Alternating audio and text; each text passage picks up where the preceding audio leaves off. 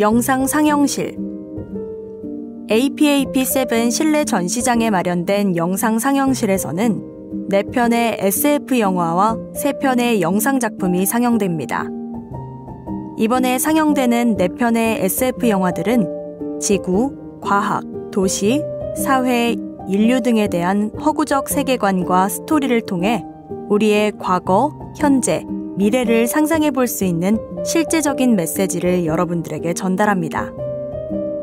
마찬가지로 세 편의 영상 작품에는 실제 현실에 대한 사실과 상상이 담긴 메시지가 담겨 있습니다. 사회, 경제, 정치, 도시 등에 대한 우리의 인식을 일깨움으로써 앞으로 나아가야 할 방향성에 대해 생각해 볼 수 있는 계기를 제공합니다. 이 작품들은 시간에 따라 각각 상영됩니다. 여러분께서는 시간표를 확인하셔서 원하시는 작품을 감상해 주시기 바랍니다.